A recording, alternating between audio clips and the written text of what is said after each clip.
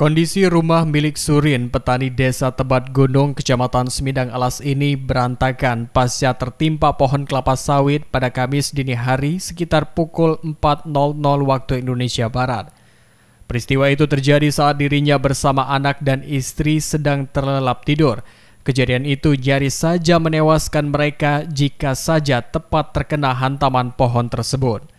Namun beruntungnya hantaman pohon kelapa sawit milik Kuat ini tidak mengenai penghuni rumah dan hanya merusak rumah serta perabot saja dan menyebabkan rumah korban mengalami kerusakan berat.